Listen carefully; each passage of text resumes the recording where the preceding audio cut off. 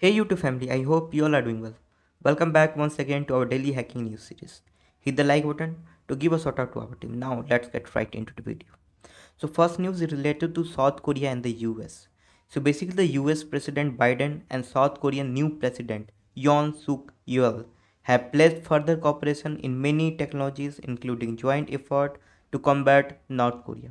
So while the US agreed to deploy physical weapon and hold military deal necessary to defend the South against the North, the pair together vowed to significantly expand cooperation to confirm a range of cyber threats from the DPRK, including but not limited so state-sponsored cyber attack. So this cooperation will include working group attended by the law enforcement and homeland security agencies from both nations. So I guess uh, US is just expanding himself to surround uh, Russia. That's what I believe. Whatever you feel, just comment it down. Now, next news is uh, related to a new InfoSec community campaign. So basically, the researchers from threat intelligence firm Cyble, so they uncovered a mic- malware campaign targeting the InfoSec community.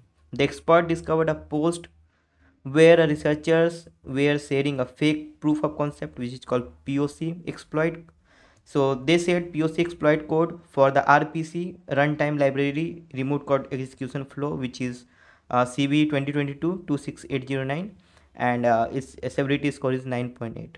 The malware disking used as a fake POC code was available on GitHub. So upon further investigation, they discovered that the, its malware disking used as exploit. Similarly, they found a malicious sample that appears to be a fake POC of CVE 2022-24500 and you can read the post uh, that was published by the Cyble both the malicious samples were available on github and interestingly both repositories belong to the same profile and indicating the possibility that threat actors might be hosting a malware campaign targeting infosec community. So right now the tech like few years back uh, we always hearing the non-tech person are getting targeted. But right now the hackers the infosec people's also getting targeted because of some kind of uh, advanced phishing layers or some advanced campaigns. So right now you are seeing like if you are web application pen tester then most probably you're looking for the CVEs online. And what if, if you'll get a CVEs with some malicious content? So for that instance you need to learn source code analyzing and you should have to masters for learning a lot of uh, languages because uh, few years back we called if you would like to be a hacker you don't need to learn coding. But that was really wrong. If you'd like to be a cybersecurity expert or hacker then you need to understand codes how that how does it work. So you need to learn coding as well. So now let's proceed with the next news. So next news is related to anonymous hacking group. So basically the hacktivist group anonymous has announced on social media that it's launching a cyber war against the pro-russian group Killnet, which recently attacked European institutions.